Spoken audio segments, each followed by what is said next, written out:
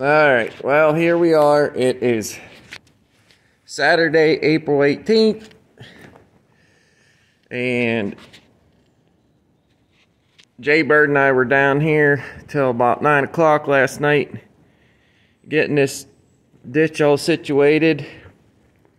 And as you can see, it is full of water again this morning. So we got the sump pump in there. Got to get the generator fired up because we don't have electric hooked up yet. So they bring this over here.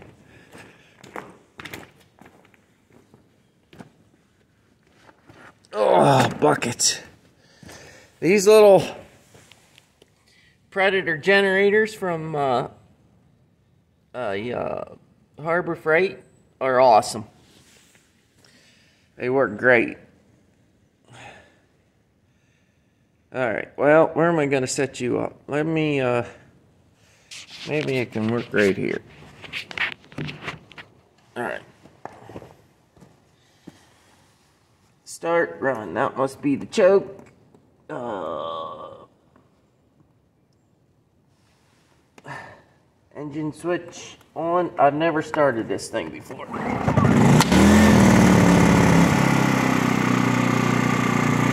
Alright, that should be good.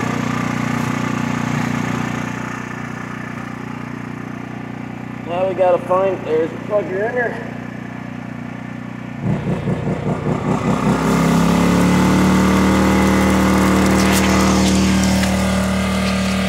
Alright, we developed a slight leak, but that's okay.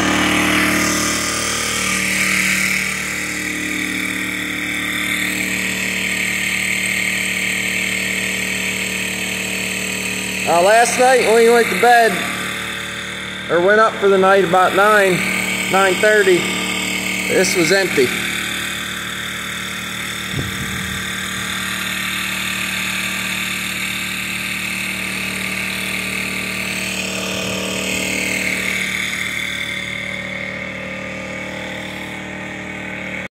Okay, so let's start here.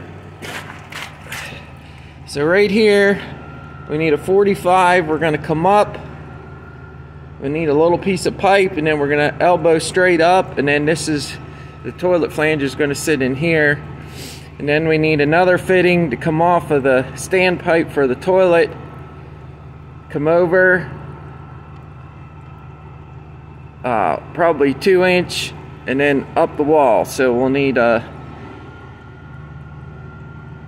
I guess you'd call it a four inch to two inch Y or T, some pipe, 90, and then up the wall and a cap for that. And then, so we have 10 feet of four inch pipe there. So we're just gonna come out here and then we're gonna 45 across, up, and then put the standpipe up there. We'll need a cap for that too. So we'll need a 90 there. We're gonna need a strap. So cap, standpipe, strap, 90. Back this way, a 45. Section of pipe. Come down here. This is where we'll tee off. If we can find a tee that has a, it's like a 45 Y or whatever, that would work right there. Um, then our 90, then our 2 inch tee. I gotta see what pipe I have. It is April 13th, 3.48 in the afternoon. Jay Bird and I just got done running all the sewer lines and bedding it in with sand. Everything although somewhat of a pain in the butt. Uh, turned out pretty good for a bunch of oops amateurs. Right there you can see there's a standpipe up against the back wall here. So everything's bedded in real good. I don't think we'll have any problems. Uh, had to run to Lowe's this morning get some pipe. Right there is all the stuff we had left and we ended up using some pipe that I had left over from 20 years ago when I built the house. So just wanted to get a short video, show you what's up here now. It'll make a little more sense once we the concrete's poured, but for now, yeah, that pipe's leaning a little towards wingers, but it won't matter.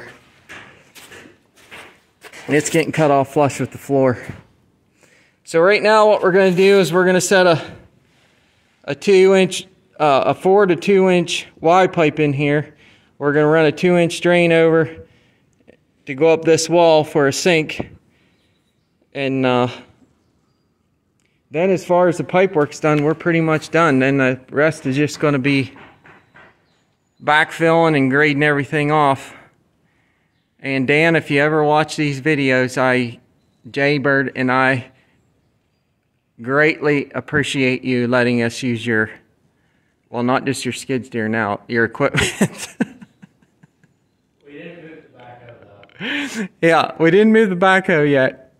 But we just found out that the gosh dang uh, what'd you do with that wire? Anyway, the uh, guys, when they drilled this post, they drilled through my wire that goes to my septic, so we're going to have to dig a hole out there and I'll have to splice into it and figure that mess out later. But for now, we just got to get ready for concrete. All right, well, let's go back here. We'll give you a look on how things are looking so you can see things are a pretty big mess right now. All right, stand by. Here we go.